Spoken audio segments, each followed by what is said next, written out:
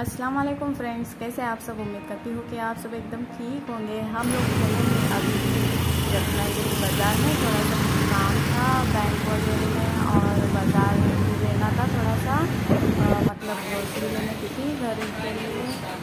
हमारा यहाँ पे काम ही नहीं हुआ बैंक का। तो हम लोग अभी आए हैं चाची के घर पे। उसके बाद हम लोग निकले तो बाज़ार में सोचा कि ठंडी ठंडी एकदम मस्त लस्सी पी जाए तो यहाँ पर हम लोगों ने लस्सी मंगवाई थी और बड़ी ही टेस्टी लस्सी थी वहाँ की। उसके बाद हम लोग निकले घर आने के लिए तो हमारे रिक्शा वाले अंकल थे ना तो उन्होंने बोला कि यहाँ पे चाइनीज़ बहुत ही अच्छा मिलता है। तो हम लोग बोले कि चलो देखते हैं। तो मैं पहले डर रही थी उनसे पूछने के लिए कि मैं वीडियो निकाल के कि आप आप लोगों को दिखाने के लिए। तो फिर बोली, चल बोल ही देती हूँ अंकल को। तो उनको पूछा मैंने कि आवाज़ दी, दादा, थोड़ी सी वीडियो का रुका है तो वो बोले कि हाँ हाँ निकालो ना, कोई बात नहीं। ऐसा बोले तो बोले, ठीक है, चलो फिर निकालती हूँ। तो मैंने ये थोड़ी सी वीडियो आपको दिखाने के लिए निकाली है चाइनीज़ सेंटर की कि यहाँ पे कैसा चाइनीज़ बनाते हैं और आ, मतलब एकदम टेस्टी ही चाइनीज़ था और क्वांटिटी भी ज़्यादा थी और पैसे मतलब अमाउंट जो थी वो भी कम थी वहाँ की सौ रुपये हाफ़ हाफ़ प्लेट थी। तो यहाँ पर मैं आप लोगों को ये दिखा रही हूँ कि हम लोगों ने ये मंगाया था ट्रिपल राइस बोला था बनाने के लिए। तो ये राइस यहाँ पे तैयार हो रहे हैं और इससे पहले उन्होंने सूप बनाया ट्रिपल राइस का। फिर, हम लोगों को चाचा ने बोले, वो रिक्शा वाले अंकल ने तभी हम लोग यहाँ पर आए और ये देखिए कितने मज़ेदार सा बना रहा है, बहुत ही अच्छा था ये।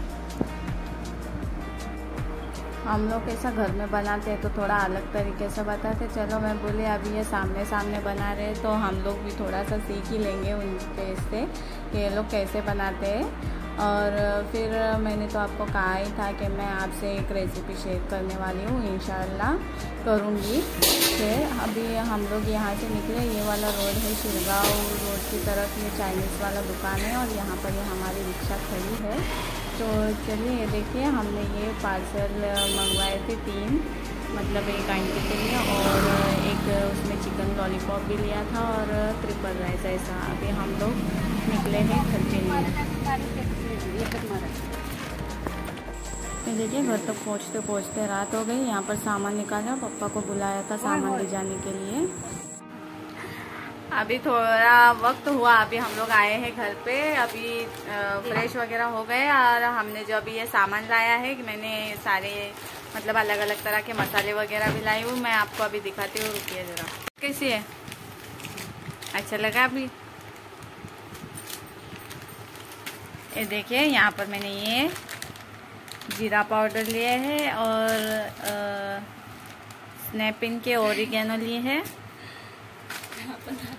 और ढेर सारे मसाले मैंने आज खरीदे हैं। यहाँ पर मैंने दाल गोश्त का मसाला लिया है। यहाँ पर ये शरू ने सारे मसाले लिए ये वाला मैंने ली हूँ। मंचूरियन मसाला और ये सूप है। ये 65 मसाला, ये तीखा वाला 65 मसाला लिया है। और ये वाले सॉस मैंने लिए हैं। ला के रखी हूँ ताकि वो ख़त्म हो जाए तो ये यूज़ करने मिले। पहले उसमें थोड़ा थोड़ा थोड़ा थोड़ा ही सॉस बाकी है, इसलिए मैंने ये पहले ही लेके रखे और यहाँ पर पास्ता ये है, वहाँ पर दिखे, मैंने उनको पूछा, ये क्या है? तो वो बोले कि ये पापड़ है। तो चले बोले, ट्राई करके देखते हैं, ये कैसे लगेंगे? तो ये पापड़ लिए हैं। यहाँ पर ये पीरी पीरी मसाला और यहाँ पे मटन मसाला। और ये चाइना ग्रास के पैकेट लिए हैं दो। और ये तो क्या है, ये साबन वगैरह।